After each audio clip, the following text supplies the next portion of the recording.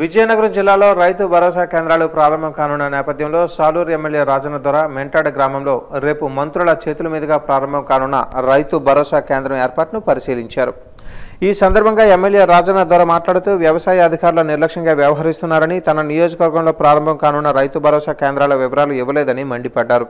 అదేవిధంగా మండలాల వారీగా ఎన్ని విత్తనాలు ప్రజలకు అందుబాటులో ఉన్నాయో తెలపలేదని సాలూరు నియోజకవర్గంలో ఇప్పటివరకు ఎంతమంది రైతుల ఖాతాలలో ఎంత డబ్బులు పడ్డాయో తదితర విషయాలు తనకు ఇంతవరకు నివేదిక ఇవ్వకపోవడం చూస్తుంటే వ్యవసాయ శాఖ అధికారులు ఎంత నిర్లక్ష్యంగా వ్యవహరిస్తున్నారో తెలుస్తుందని అన్నారు.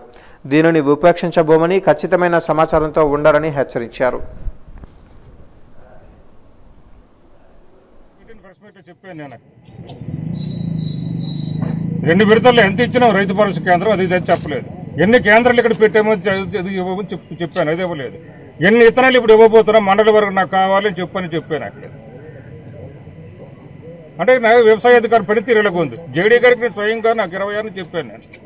ఈరోజు ఇరవై తొమ్మిది వచ్చింది. అంతే ప్రజాప్రతినిధి అంత నిర్లక్ష్యం అనమాట అధికారులకి. మన ఇతర ఏడీఏలు వచ్చారు. ఏడీఏలకు కూడా చెప్పాను సంవత్సరం ఏమో నన్ను ఎవరికో సంతకు సీటు లచ్చి గాజులకు చెప్తున్నారు సాలూరు జే- జేడి ఏడి. ఎవరి చేత పంపించాడు ఇన్ఫర్మేషన్ అందుకని నేనైతే మరి మాట్లాడదలుచుకోలేదు రైతు భరోసా కేంద్రం కాబట్టి రైతుల గురించి మాట్లాడారు. మా ముఖ్యమంత్రి గారే రైతు ముఖ్యమంత్రి. మా ప్రభుత్వమే రైతు ప్రభుత్వం. ఆయన రైతు నాయకుడు అసలేదు రైతు భరోసా కేంద్రాన్ని ఓపెన్ ఓపెన్ చేశారు. ఎందుకు రైతులకు అందరికీ కూడా మంచి జరుగుతుందని. అన్ని అనుబంధ సంస్థలు అన్నిటి కూడా. ఒక అగ్రికల్చరే కాదు కదా. ఎనిమిది హస్బెండరీ ఉంటుంది? ఫిషరీస్ ఉంటుంది హార్టికల్చర్ ఉంటుంది సెరికల్చర్ ఉంటుంది. అన్ని డిపార్ట్మెంట్కి అనుబంధం అన్నీ జరుగుతాయి.